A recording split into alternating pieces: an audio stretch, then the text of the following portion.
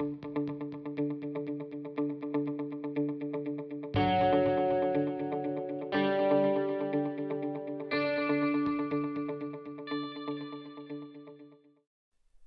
and welcome back to our webcast series on the topic of orthographic projection.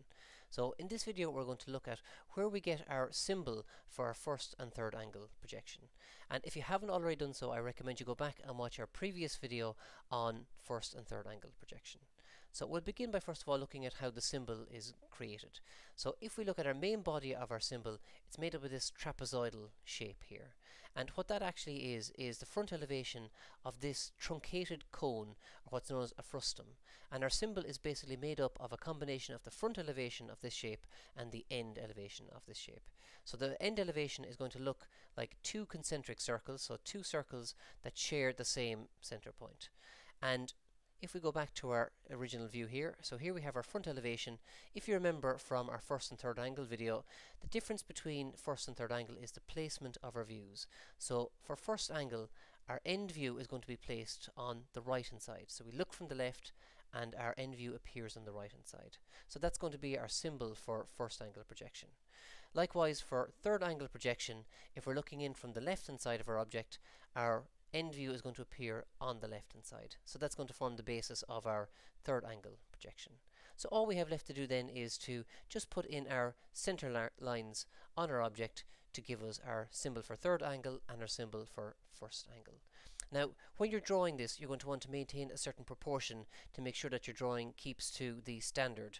So the proportions that we're going to keep for our drawings is going to be like so. So the diameter of our main circle here is going to be d and the distance between the end view here, so the center of our end view and the front of our front elevation is going to be one and a quarter times d. The length of our trapezoid is going to be d and the angle of the sides here are going to be at 30 degrees.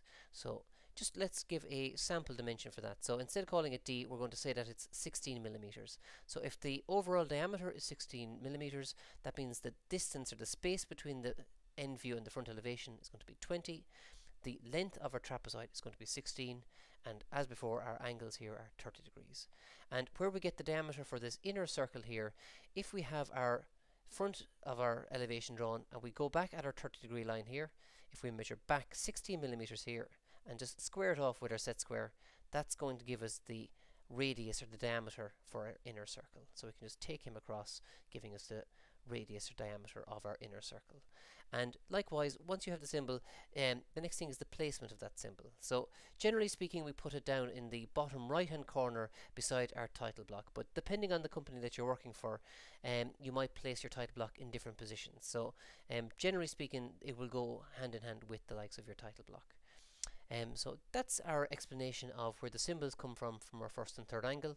Um, I hope this has been of some use to you and as always stay tuned for more videos for more information. Thank you very much.